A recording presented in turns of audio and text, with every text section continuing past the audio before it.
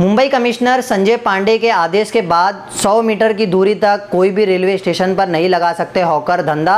इसी में दादर मार्केट का ये वायरल वीडियो देखिए। मुंबई टीवी हर खबर सच के साथ। मैं हूँ अफजल शेख और आप देख रहे हैं मुंबई टीवी।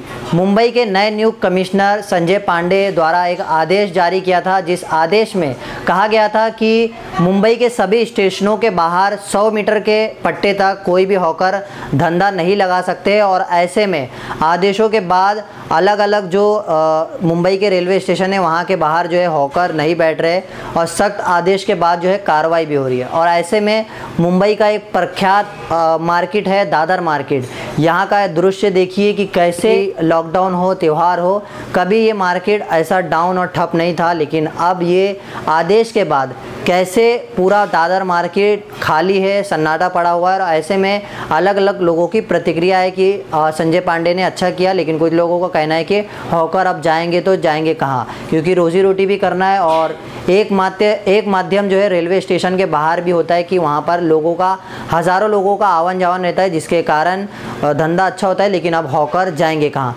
तो आप भी अपनी प्रतिक्रिया ज़रूर दीजिए कमेंट में कि क्या इस आदेश को लेकर के संजय पांडे ने सही किया है या कुछ आपका अलग सा इसमें ओपिनियन है?